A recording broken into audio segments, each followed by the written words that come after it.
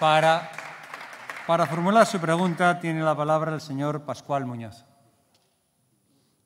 Muchas gracias, presidente. ¿Por qué en enero de 2020 se retiró el protocolo de atención educativa y acompañamiento al alumnado en situación de transexualidad y alumnado con expresión de género no normativa? Muchas gracias. Gracias. Para un turno de dúplica tiene la palabra la consejera de Educación, la señora Lucas Navas.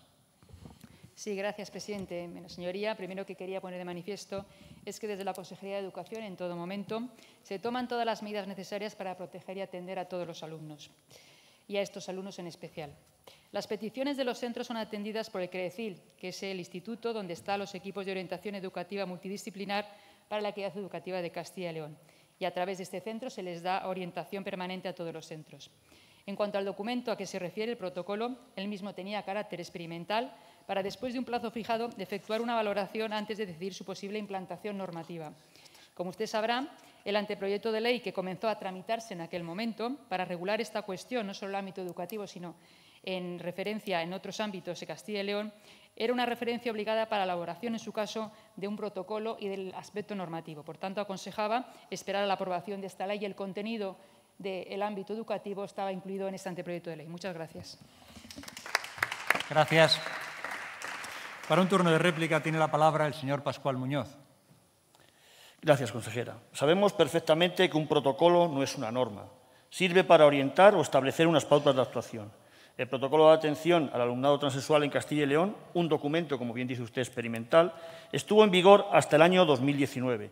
A partir de ahí, el siguiente paso era, si procedía, realizar las modificaciones necesarias para implantarlo de forma definitiva y que se convirtiese en una norma. Lo que sucedió es que al inicio del curso 2019-2020 se retiró. Desde algunos colectivos me trasladan que ese protocolo tuvo una gran acogida tanto por parte de las familias como de los centros educativos, y que supuso, durante el tiempo que, se estuvo aplicando, un avance en los derechos de personas trans, en este caso menores, y de sus familias. ¿Qué pasó para, una vez superada esa fase experimental, no se hicieran las modificaciones necesarias para convertirlo en norma? Lo cierto es que las medidas recogidas en ese protocolo y que se siguen aplicando funcionan. Sin embargo, sigue sin haber una normativa en Castilla y León que recoja y regule los derechos de las personas adultas y menores trans y de sus familias. Una ley que sí que existe en la mayoría de las comunidades autónomas. Al parecer se está trabajando en un texto alternativo de ley LGTBI que contradice a este protocolo educativo anterior, que supone un retroceso y para cuya elaboración no se está contando con los diferentes colectivos. Le pongo un ejemplo. En la actualidad, y siguiendo lo que establece este protocolo, el alumnado con una identidad o expresión no normativa podrá emplear en el colegio o instituto su nombre social, nombre que aparecerá, además en todos los documentos administrativos internos o de exposición pública como listas, boletines de notas, todo a excepción del expediente oficial, sin necesidad de un cambio en el registro civil. Algo que podría desaparecer y, en su lugar, establecer el cumplimiento de una serie de requisitos obligatorios, ya que el borrador de enero de 2020 del anteproyecto LGTBI decía dirigirse al alumno empleando el nombre que se haya comunicado al registro civil en la solicitud de rectificación de la mención de sexo. Por tanto, imponen la condición de estar tramitado en el registro para usar el nombre. Además, para este trámite de la mención de sexo, que no es la misma que la de solicitar únicamente el cambio de nombre, se pide un informe psiquiátrico. Por tanto, tienes, que estar llevando al alumno, que muchas veces tiene tres, cuatro añitos, a consultas psiquiátricas durante el tiempo necesario para conseguir el diagnóstico de disforia de género. Disforia, señorías, quiere decir que odias tu cuerpo.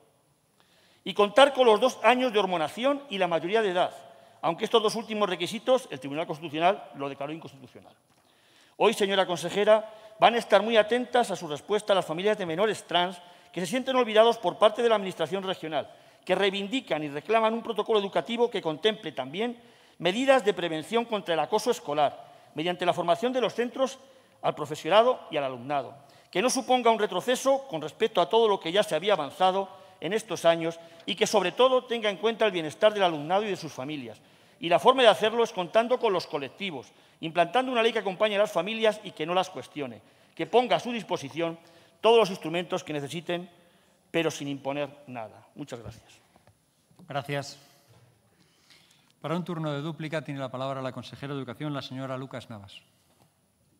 Muchas gracias, presidente. Sí, señoría. Le agradezco el tono, como siempre, señor Pascual, y como siempre también estamos de acuerdo plenamente que lo importante es garantizar entre el alumnado el principio de igualdad de trato y de no discriminación por razón de orientación sexual e identidad de género en Castilla y León.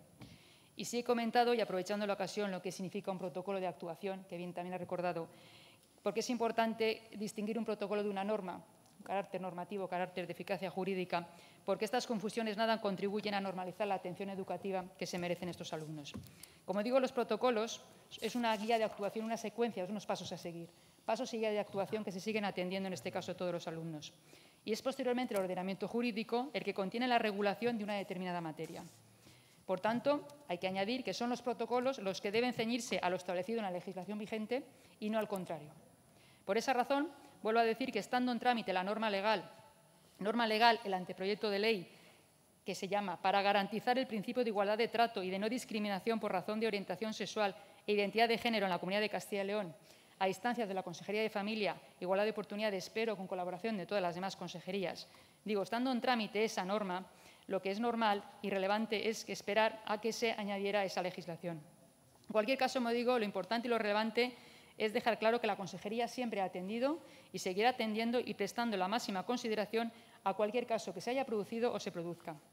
Se viene trabajando así desde hace años y atendiendo todas las solicitudes que hayan podido surgir, para garantizar siempre el libre desarrollo de la personalidad de los alumnos y erradicar de raíz cualquier tipo de discriminación, sea esta por cualquier otra razón.